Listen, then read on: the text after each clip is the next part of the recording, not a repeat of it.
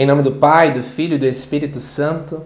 Amém. Amados irmãos e irmãs, feliz Páscoa para você.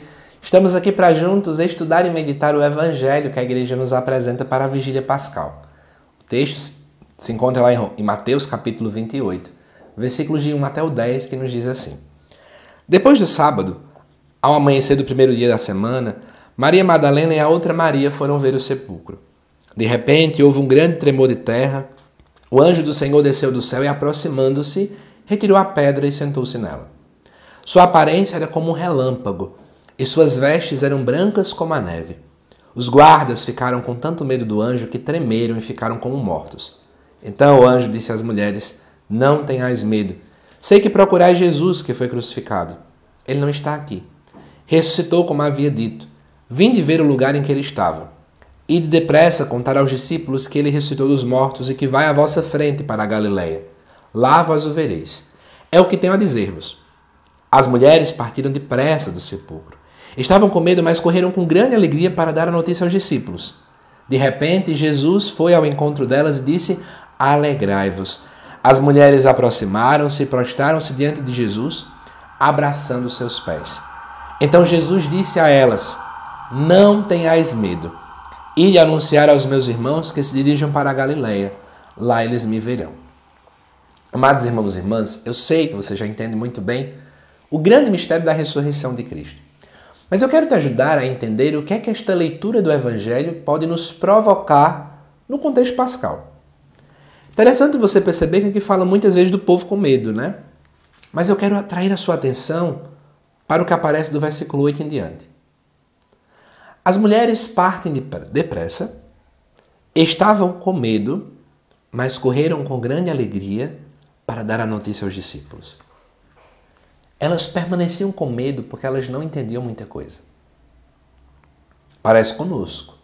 Eu não sei, por exemplo, qual o dia de amanhã. Eu não sei o que é que Deus deseja para a minha vida, o que Deus preparou para o meu agora, por exemplo. Porém, elas partem embora tenham medo. E elas não partem com cara batida, com cara triste, mas diz aqui que elas partem com grande alegria. Isso nos ensina algumas realidades. Primeiro, eu não posso permitir com que o medo me paralise. Segundo, eu preciso anunciar com alegria. E é impossível não lembrar, por exemplo, do que o Papa Francisco né, traz na sua encíclica Evangelii Gaudium, Alegria do Evangelho. Ele coloca, já na primeira, primeira parte da Evangelho Gaudium, a ideia de que quando nós temos um encontro autêntico com Cristo, a gente não consegue guardar para nós. Eu não consigo guardar para mim.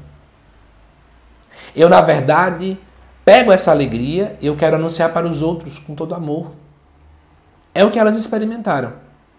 E aí, de fato, o próprio Jesus chega, elas agarram ele, mas em outras palavras dizem: Ei, ó, é bom estar comigo, é um bem bom, muito legal, mas vão e anunciem. Amados irmãos e irmãs, o contexto pascal ele nos aponta para o nosso batismo. E o batismo ele nos leva a essa provocação de estar em saída.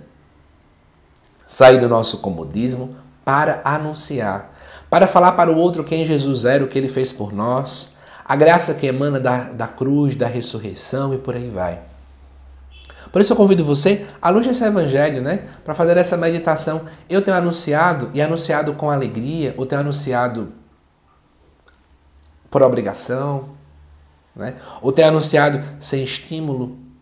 Como é que está o nosso anúncio?